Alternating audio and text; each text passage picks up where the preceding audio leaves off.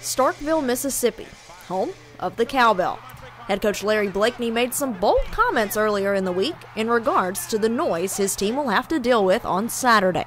I hope they're loud as they could ever been over there, because we don't we, noise doesn't really bother our offense. And what Blakeney asked for, the players can't wait to experience. No, I'm really excited to be to play in front of a crowd like that. You know, I'm I can't wait. You know, I, um, a lot of guys on the team from Mississippi they talk about the Cowbells, but I mean, we still got to play defense. You know, we still have to play ball, so it doesn't even matter. Not to me.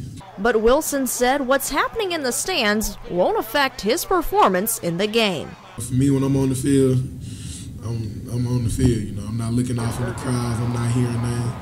You know, I'm trying to get my assignment and get focused. So, you know, you just got to be able to tune it out.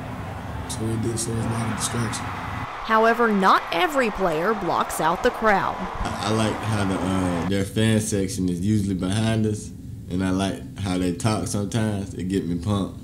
On Saturday, you can almost bet Bulldog fans will have the cowbells out in full force. I'm sure since I'm opening my mouth that they'll they'll be the noisiest they've ever been in Starkville, and that'll be fine. Uh, but uh, you know, the the thing that bothers me is those big SEC football players we're going to have to line up against. Danielle Percival, Troy, Trojan Vision Sports.